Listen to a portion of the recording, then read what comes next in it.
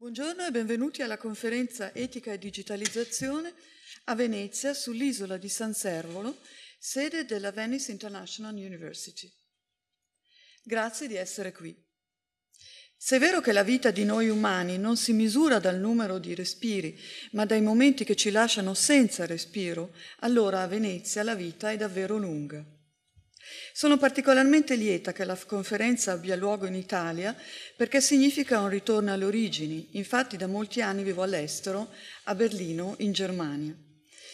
Lo scorso agosto nei media tedeschi è comparsa una foto di Angela Merkel in vacanza ripresa da un paparazzo mentre leggeva un libro, Il tiranno di Steven Greenblatt. I commenti suggerivano che la cancelliera tedesca si stesse informando su come trattare Trump e gli altri colleghi.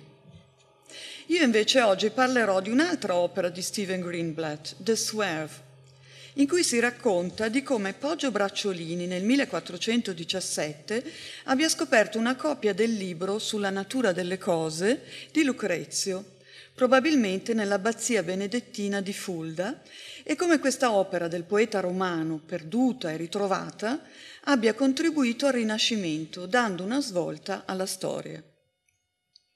Rifacendosi ad Epicuro, Lucrezio scrive in un latino classico di sublime eleganza come l'universo e la materia tutta sia composta da minime particole, gli atomi, che si incontrano, si combinano, si fondano, si dissociano, assecondando una traiettoria, ma talvolta per uno scarto improvviso, il clinamen, cambiano direzione.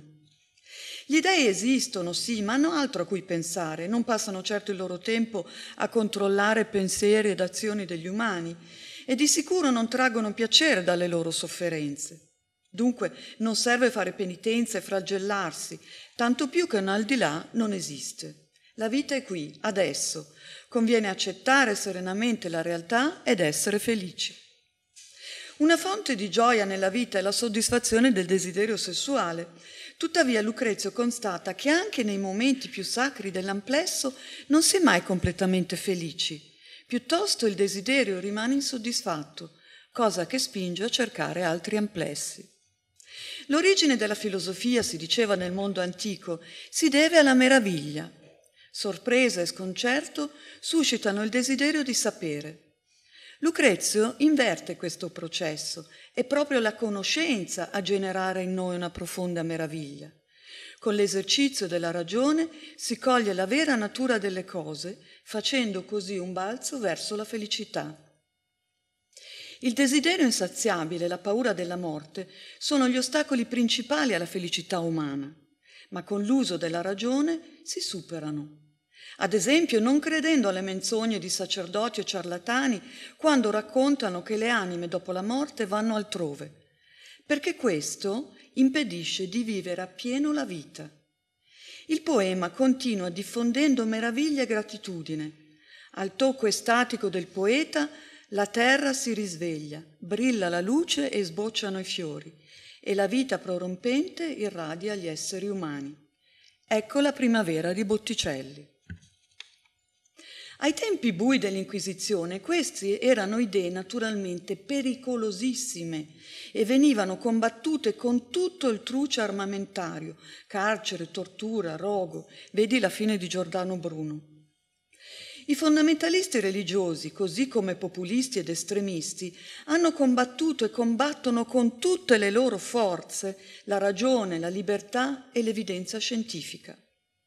Ma gli attimi senza respiro, la meraviglia, l'eros, la luce, la gioia, la ragione, la libertà, la ricerca, sono forze troppo forti. In vero gli esseri umani amano la primavera.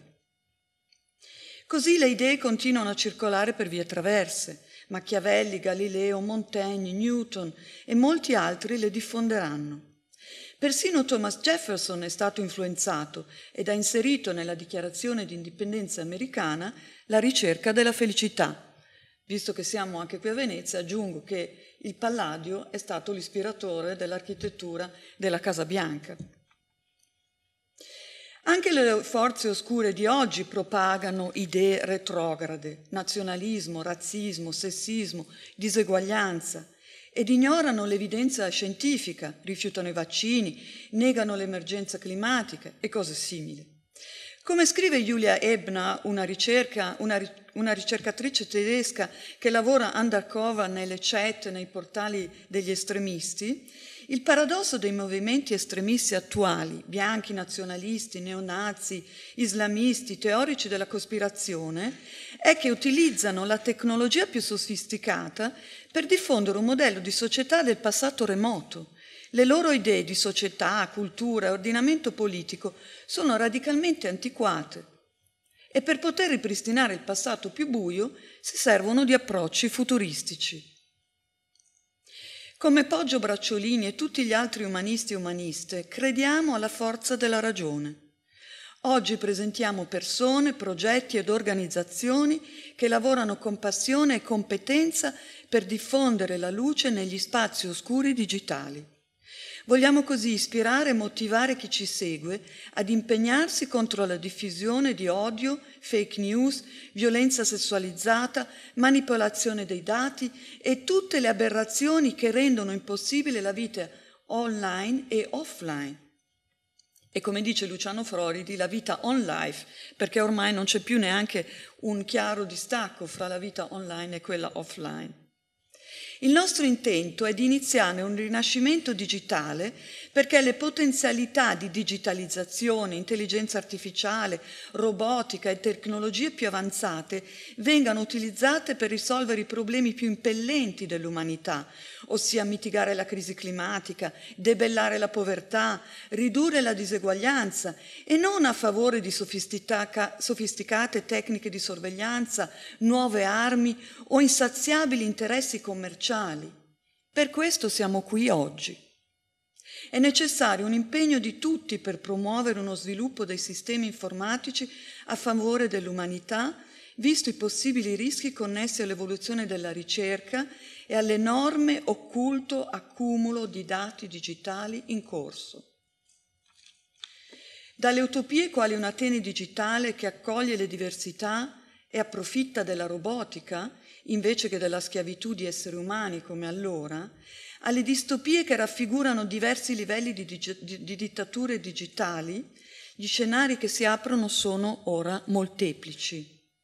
Guardare la televisione potrà presto significare che la TV guardi noi. Alexa o Siri sono congegni che possono facilitare la vita, ma allo stesso modo sono in grado di trasformarsi in perfidi strumenti di sorveglianza. L'Internet delle cose registra quando manca qualcosa nel frigo e lo rifornisce ma potrebbe ordinare prodotti che convengono a chi li gestisce. Per questo siamo noi cittadini e cittadine che dobbiamo riflettere, dibattere e decidere il tipo di futuro che vogliamo e non quello che temiamo. La digitalizzazione, i social media, la robotica e la tecnologia hanno il potenziale di far fiorire la vita come non mai, oppure di distruggerla. Cosa fa la differenza? Alcuni, vedi Jaron Lanier, Rolf Dobelli, suggeriscono di cancellare i profili sui social media, altri consigliano di limitare il tempo online, imparare a programmare, altri ancora propongono di realizzare un internet europeo. Quello che fa la differenza al giorno d'oggi è sicuramente il plus valore dato dal contributo della diversità. Ai tempi di Lucrezio, Poggio Bracciolini, Thomas Jefferson, donne e schiavi venivano esclusi dalla vita sociale, intellettuale e politica.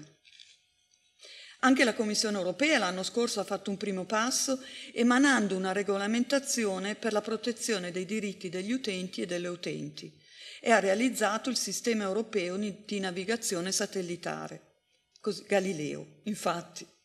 Ma ora la sfida è tra l'altro regolamentare social media, grande distribuzione, sistema 5G, ossia giganti tecnologici privati oppure di proprietà di regimi dittatoriali. In Europa pionieri della filosofia e dell'etica dell'informazione sono Luciano Floridi e Maria Rosaria Taddeo dell'Università di Oxford, i quali sostengono instancabili l'impegno coordinato di società civile, ricerca, politica e business per favorire strategie informatiche e infrastrutture digitali che rispettino la dignità e i diritti umani. Tra l'Europa e gli Stati Uniti è attivo Max Tegmark, un neuroscienziato svedese che lavora al MIT, il quale ha fondato il Future of Life Institute, riunendo le menti più brillanti attive nel settore con l'intento di lavorare insieme su beneficial AI. Nel 2017, in una leggendaria conferenza a Asilomar, hanno definito 23 linee guida adottate poco dopo dallo Stato della California. Ad Asilomar è stata proposta anche la figura dell'ottimista consapevole, ossia una persona che lavora perché le cose buone si realizzino. La teoria dei giochi dice infatti che le visioni positive sono alla base di gran parte delle collaborazioni, dai matrimoni alle fusioni aziendali. Ciò significa contribuire ad immaginare e realizzare futuri positivi per il pianeta e l'umanità. Da ottimista consapevole invito a pensare al tipo di futuro che si vuole e non a quello che si teme. Tutti noi e le generazioni future dobbiamo assicurarci che la tecnologia sia di beneficio al pianeta e all'umanità e non cedere lo spazio virtuale a movimenti estremisti retrogradi. Inoltre è importante creare un'economia fondata su una equa prosperità che riduca le disuguaglianze. Di fondamentale importanza è infine accordarci globalmente sugli standard etici da far apprendere alle macchine potenti. Citando Julian Niederrümelin, il filosofo tedesco, dico in breve che è da cambiare la direzione dello sviluppo digitale presente. In un mondo polarizzato e caotico, se qualcuno avrà il potere di usare i sistemi informatici in modo malvagio, prenderà meno precauzioni sulla sicurezza invece di cooperare. Se al contrario la società umana sarà in grado di collaborare per realizzare fini condivisi, la rivoluzione digitale migliorerà la vita attuale e futura di tutti. Inoltrandosi nell'universo, lo spazio si dilata, si flette, si increspa mentre i quanti si materializzano solo quando interagiscono con qualcosa d'altro. Carlo Rovelli sostiene che dobbiamo accettare l'idea che la realtà sia solo interazione. Come le cose del mondo, anche gli esseri umani interagiscono in continuazione l'uno con l'altro e nel fare ciò lo stato di ciascuno porta traccia dello stato di coloro con cui ha interagito. E Rovelli nota ancora che la differenza fra passato e futuro esiste soltanto quando c'è calore. Da ottimista consapevole sono convinta che Homo sapiens si salverà grazie ad interazione, cooperazione e al calore della primavera. Buon lavoro!